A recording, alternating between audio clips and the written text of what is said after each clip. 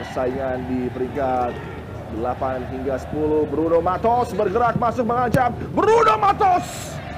Tendangan berbahaya dilepas itu bisa semakin menenangkan diri pada pemain. Dari tekanan Kasim Botan Toha. Satu umpan bola berbahaya. Henan Alves Edo Febriansyah kali ini penuh percaya diri menuju Cardoso. Thailand Korea terbebas. Thailand Korea. Henan peluang untuk terdegradasi. Bruno Matos kali ini coba masuk ke kotak penalti. Dihadang tadi kembali peluang umpan yang sangat baik sebenarnya dari Bruno Matos. Pertandingan berlanjut. Bola masih menjadi milik dari Rizky Pora dan juga Barito Rafael Silva. Masih hadangan dari Lutfi Kamal Bison Young dari zona sentral. Lebarkan bola ke sisi kiri.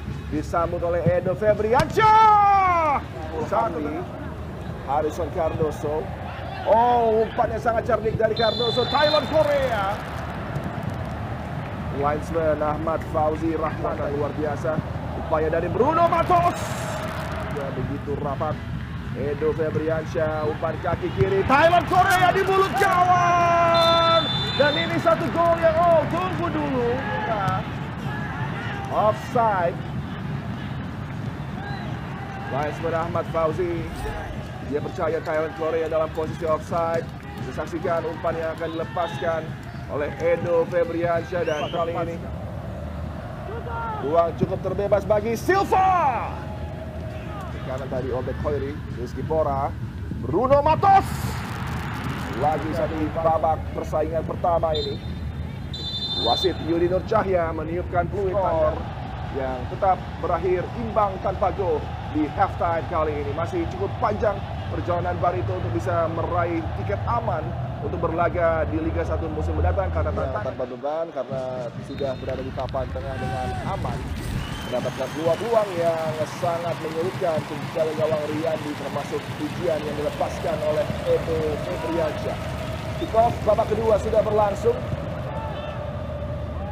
Laskar Antasari bagi Anda yang baru saja bergabung menggunakan jersey kuning-kuning. Satu peluang tekanan, Miftahul Hamdi, tendangan langsung.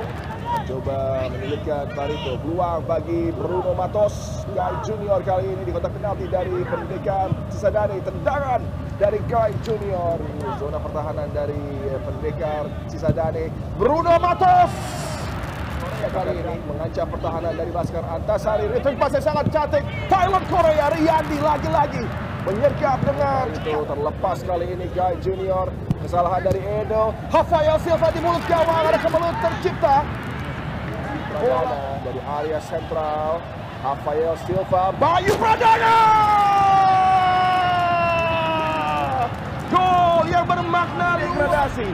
sebuah setup dari gol yang sangat baik kerjasama Bayu dengan Rafael Silva diselesaikan dengan satu tendangan keras minimal backlift teknik yang tidak mudah dipertunjukkan oleh Bayu Pradana untuk bisa mencetak gol yang sangat Persita terus berupaya berburu gol untuk bisa menyamakan kedudukan. Tendangan dari Bison Young.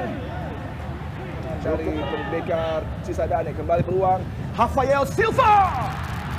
Maltino kepada Bruno Matos.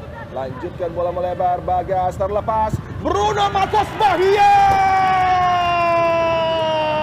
Men-set up Bruno Matos. Kita saksikan laju dari Bagas Kava. Diakhiri tendangan maut dari Bruno Matos yang bukan tidak mungkin mengamankan tiga poin yang begitu vital yang sangat dicari. Step over Edo Febriansyah. Tendangan jarak jauh Edo Febriansyah membuat bola pada Amrizal Umanailo memancing Obed Hoiri. Double step over Umanailo. Save dari Shadi Fauzi. Andre Agustian, Jack Brown.